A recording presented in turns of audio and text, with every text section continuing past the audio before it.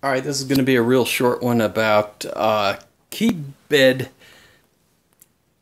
the keyframe bedding. This is the keyframe of the pianos and the key, like I, I started to tease this before, the keyframe has to sit there nicely in order for the regulation to stay nice. So this is what the situation is now. This is the way that I received the piano. I haven't touched a thing, any of the any of the adjusting, um, what would you call them, parameters I haven't touched. So theoretically, the keyboard is on there's some sliders in the back, which I don't know if you can see them or not. They are back there.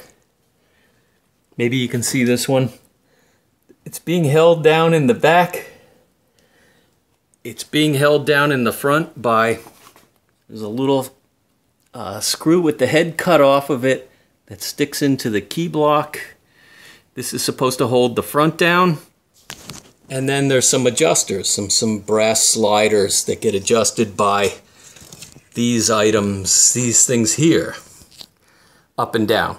So it's supported in the front and in the back and in the middle by these things. And you want to have these set up so that they don't, uh, it, so there's no um, mm, nothing untoward happens. So, so anyway, here's the problem.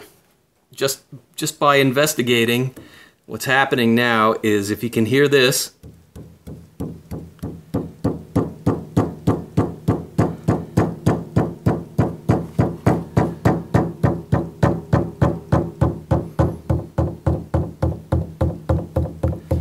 and I'm trying not to change the amount that I'm doing this, the amount that I'm tapping. But there's a couple of spots that sound different, right? And one of them, let's, let's just look at this one here. So what I'm learning from that tapping sound is perhaps there's a space in here and you can verify that by taking this um, newspaper and sliding it in there and say, oh yeah, okay. Now there's a gap from about here to about here. So what can cause that and what should you do about it? Now this is, first of all, this is the way I received, the first thing to remember is this is the way I got the piano, so I haven't done anything to it yet. So one of the things that can cause that is if you put too much pressure on this pin, the cheek block is pushing down, on here on this pin. And one thing I've seen in the past is if you push too hard on that, it's going to cause a rocking motion where a, a teeter-totter almost is pushing down here. It's hitting right here, like you can tell, the wood's hitting here, but then it lifts the keyframe here. That's something to look out for, but there's something simpler to look out for that you first have to, that's why this isn't the first place to start. I'm assessing this. I'm learning that that's the, the point. That's the situation. But if I try to slide this under here, it stops before I get to here. Now what happens is sometimes these get overzealously adjusted downward and it lifts it lifts this up.